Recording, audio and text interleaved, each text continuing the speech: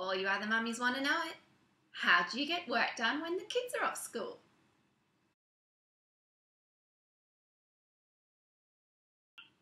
I have a three year old and a seven year old, both boys, and they keep me very busy uh, even when there is school. So, you know, when school's out, it's I do have a few secrets though to make sure that I still get some work done even when the kids are off school.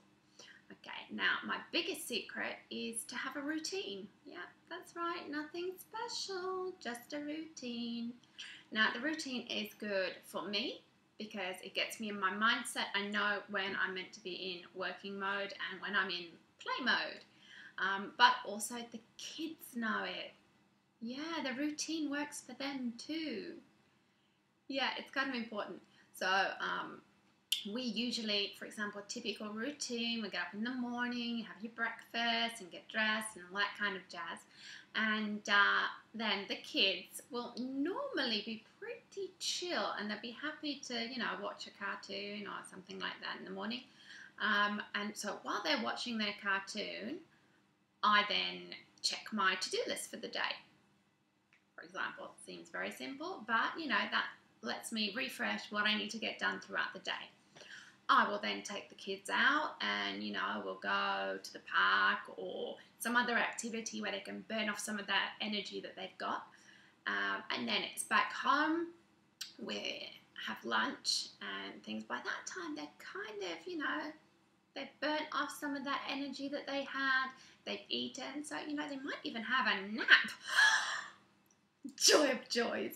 Um, yeah, so you know, if they do have a nap, then I can usually bang out a couple of articles or maybe even do a video or you know that kind of stuff.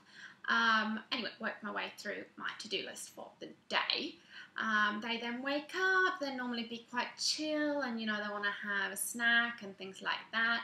And uh, then we'll do some kind of arty project or they'll play with Play-Doh or something like that, depending on the activity that we do at home. I might even be able to get some stuff done, for example, scheduling guest posts or interviews that I'm hosting on my blogs. I can normally get some of those like no-brainer kind of tasks done whilst they're playing happily together.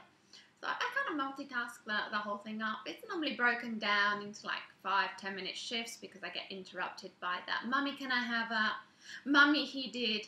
Mummy, but he. You know the drill. But anyway, doing these little sprints of work throughout the day actually turns out to be pretty quite productive at the end of the day. And then, of course, once the kids are in bed in the evening, then that frees me the evening to actually, you know, get down to the nitty gritty stuff, um, like my books, and actually up my word count on those too. So, anyway, that is my big secret for getting stuff done whilst the kids are off school balance your time between the kids and the work. Try and fit it in little bits throughout the day where possible. But don't be afraid to take time off and, you know, just enjoy being with the kids. It's actually quite inspirational. And uh, then when you do get the chance to work, you, you go back with a bit more gusto for it. So, anyway, yeah. I hope you found this video useful. If you have, then please check out some of the other videos that I have on the channel. Some of them are pretty cool. Um, also, you want to click on that subscribe button so you don't miss out on any of the new uploads that are coming your way. You'll also want to hop over to jolinsdell.com and uh, you know subscribe to the newsletter because that's pretty awesome too. And um, hook up with me on social media. I'm pretty much everywhere. All the links are on the website. So you know, send me a tweet, hook up on Facebook, pin me, and uh, look forward to connecting with you soon.